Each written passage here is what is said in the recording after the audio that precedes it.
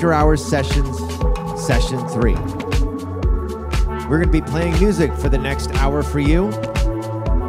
So sit back, relax, and enjoy the music.